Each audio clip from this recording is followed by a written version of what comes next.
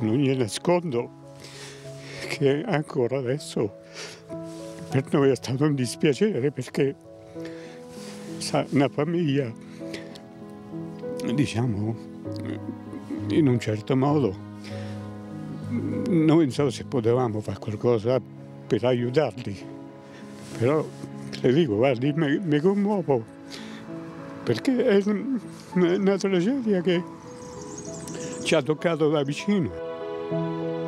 Qualche volta passando vedevamo tutto chiuso, le finestre, tutto sempre chiuso e le luci esterne che la notte si accendevano. Quindi per noi mai ci siamo chiesti, cioè, posti l'interrogativo perché non li vedevamo. Perché tutti gli anni era così, non li avevamo visti mai durante il periodo estivo. Quando era primi di giugno, la metà di giugno a seconda dell'andamento stagionale, andavano al mare, Porto Reganati. Poi avevano una villetta a Ussida, montagna. in montagna, e finito il mare andavano in montagna e tornavano il 31 agosto. Allora, la nostra Maria Grazia San Rocco, Maria Grazia a te, non può essere vero quello che stiamo raccontando, non può essere vero. Io non posso, non posso credere che sia successo un fatto un fatto così grave, così... Morire di fame. No, di sete, di sete. Prego, sete. a te. Un fatto doloroso, Eleonora, davvero doloroso, triste. Raccontare questo fatto ci fa anche rabbrividire. Come si può morire nel 2021? Perché ricordiamo che queste tre persone sono morte nel 2021. Morire di fame e di sete. Ecco, la storia inizia a settembre, il 6 settembre. La sorella di questa donna, di Angela Maria, che viveva all'interno di questa bellissima villa, avvolta, insomma, circondata dal, da alberi secolari, non risponde al telefono, non hanno più notizie, per cui si preoccupa e dà l'allarme. All'interno di questa villetta vengono ritrovati tre corpi privi di vita, il marito, la moglie ed il figlio. Soltanto due giorni fa i risultati dell'autopsia e qui insomma rimaniamo tutti esterefatti. Che cosa è accaduto? Bene, Eros, l'uomo ottantenne che si occupava della sua famiglia, è morto a seguito di un ictus. Sua moglie e suo figlio, invalidi, invalidi ormai da molti anni, non hanno potuto muoversi, non hanno potuto far niente, loro sono morti morti di sete e di fame. Nessuno ha potuto far niente per questa famiglia o nessuno ha saputo aiutare questa famiglia, perché naturalmente noi ci domandiamo anche questo. Com'è possibile che quando non si hanno notizie di un'intera famiglia per mesi non si fa nulla, certo è che questa famiglia non voleva essere aiutata, ha rifiutato l'aiuto di molte persone, ha rifiutato la collaborazione di una eh, domestica, ha rifiutato persino un cellulare perché era stato regalato alla signora Angela Maria un cellulare ma lei non lo usava e non ha potuto chiedere aiuto. Questa donna è stata ritrovata distesa sul letto, suo figlio invece che aveva avuto un gravissimo incidente stradale a seguito del quale era rimasto invalido ed era accaduto circa vent'anni fa, oggi aveva 54 anni, è stato trovato al, disteso a terra, probabilmente quest'uomo ha cercato di alzarsi dal letto da solo, non lo poteva fare perché appunto non aveva la mobilità, non poteva muoversi, ma non è riuscita a chiedere aiuto.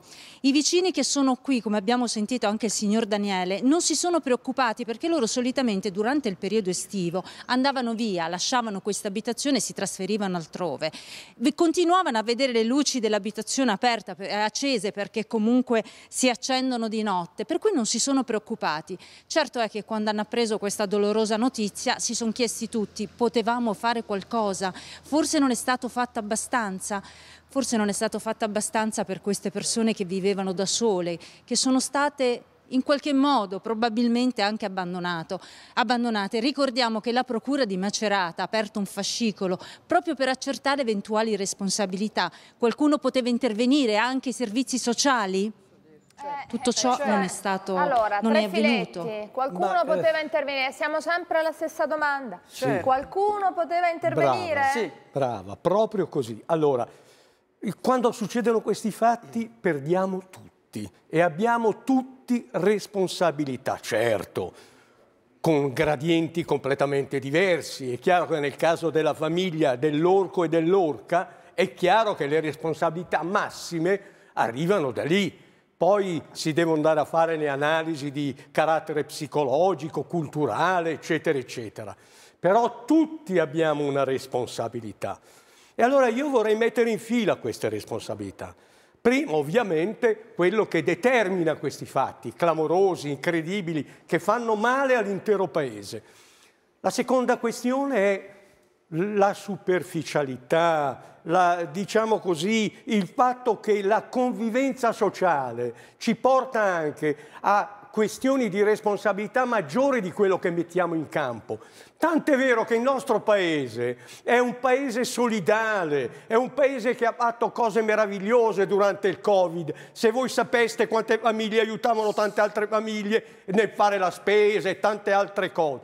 E allora anche qui c'è una responsabilità. Parenti, amici, la cittadinanza ma di fronte a fatti come questi ha anche questa una responsabilità. Ecco, Infine detto... chiudo, scusa, eh. fammi fare solo una battuta Eleonora.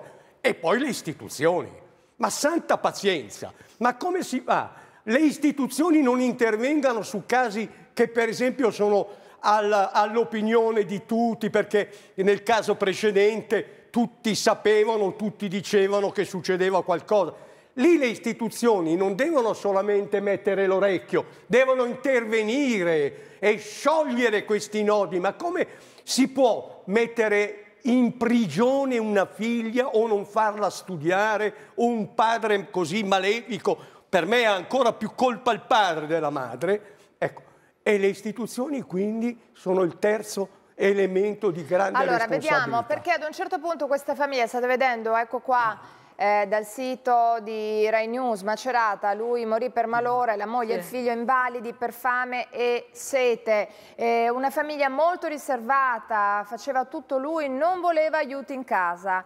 Questo raccontano i vicini. Bisogna vedere se eh, fosse vero o meno, intanto questa descrizione continua tra rammarico e dispiacere perché questo vicino dice mi dispiace che io non, non me ne sono accorto, certo. ma non me ne sono accorto perché pensavo fossero da un'altra parte. Quando vedevo la tapparella abbassata perché, perché credevo Andavano che fossero andati al, al mare. Sentite.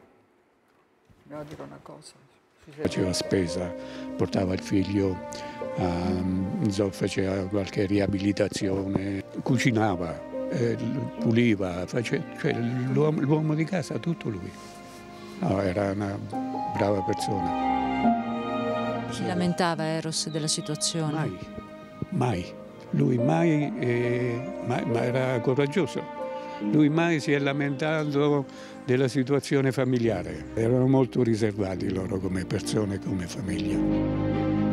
A febbraio mm, mi telefonò Eros, era caduto il figlio, l'abbiamo tirato su e poi lo ha messo a letto. Ho visto un po' di abbandono diciamo, all'interno della casa a Eros io ho detto Eros, dico, ma fate aiutare una donna, dico anche 3 o 4 ore a settimana, no?